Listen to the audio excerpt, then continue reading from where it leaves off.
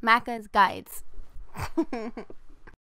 Hey guys, Macca here playing Sunset Overdrive, showing you how to get the Perfection achievement in the game. This one is for doing a perfect night defense. I recommend that you do progress through the game significantly in order to unlock better traps, better amps, overdrives, as well as better weapons. Start off by going to the Old Factory District Brewery and make sure you refill your ammo using Two Hat Jack. From that moment, what you're going to want to do is go up to where Floyd sits and accept the Night Defense. The Night Defense won't unlock until about 3 hours into the game, but I'd probably recommend you wait until you're about 10 hours into the game before trying this uh, achievement. I recommend that you have some good deployable weapons, some good explosive weapons, and also the freeze bomb gun. Um, deployable weapons will help you with the defense aspects, and the freeze gun will help you near the end. I'll show you what you should be doing, and a very good tactic to help you out here. What you're going to want to start by doing is uh, start by setting up your traps. I recommend two fling boards at each gate, as well as uh, two pyro traps kind of in the middle of these courtyards. You can also put a hack and slash right there, as I found that was pretty useful, and I always had some leftover um, energy for traps. So, like I like I mentioned, um, two fling boards at each uh, gate entrance. There's only two gate entrances really, uh, and then they have to get past a barrier two pyro boards kind of in the middle of the courtyards, and then you can put a hack and slash wherever you like. Once you have those kind of traps set up, again, you can use your own uh, intellect here and just kind of experiment with a different set of traps that work better for your playstyle. These ones worked very well for me. Now that you have your trap set up, make sure you turn the dial, which will start the night cycle of the night defense. And from here on out, you're going to want to go on the rail and come up to here and what I recommend by uh, starting to do is use deployable traps. So that's what you see me using right here. I used my acid sprinklers. Unfortunately, I didn't refill my ammo, uh, unlike I told you you guys should, which will definitely help you.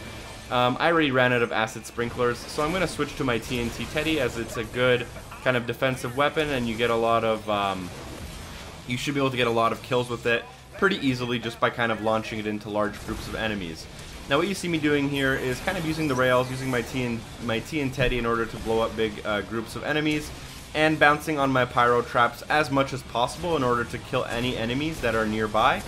Uh, this is a good tactic because uh, the pyro traps are very powerful and they have a good radius on them, so you can kill a huge amount of enemies uh, in the courtyards, which are really the only two areas they're going to come from.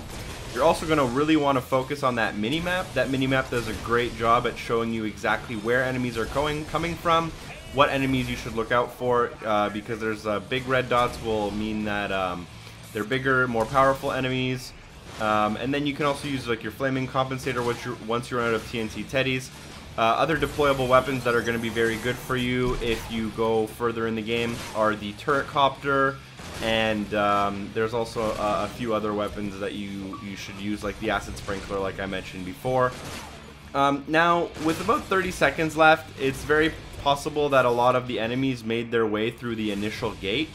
What I recommend doing from this point on this is kind of a cheap but really easy tactic is just stand in the front gate and freeze the enemies as best as you can uh, as you can see here, I'm freezing them and they're basically just going to stand there. They're going to block any other enemies that come through and they're also not going to attack your gate, which is going to keep your gate intact. So as you see, there's three gates near your vat and as long as none of the enemies break through these last three gates and get into this uh, circle area and touch your vat, you will get the achievement decently easily. Um, if you have, uh, if you are struggling, make sure you upgrade your weapons, upgrade your overdrives, uh, come back here once you've unlocked some more things, and you should be able to do this no problem. Make sure you have a good trap setup, and you can also use tactics like uh, deployable weapons that are good, like the proximity mine as well. And uh, you can also use that freeze bomb at the very last stage just to try to freeze all the enemies and really slow them down at that last crucial moment. That should help you unlock the achievement Perfection. Thank you for watching. Make sure you like the video if you found it useful. You can also leave a comment, subscribe for more content, and hopefully I see you in my next video. Peace.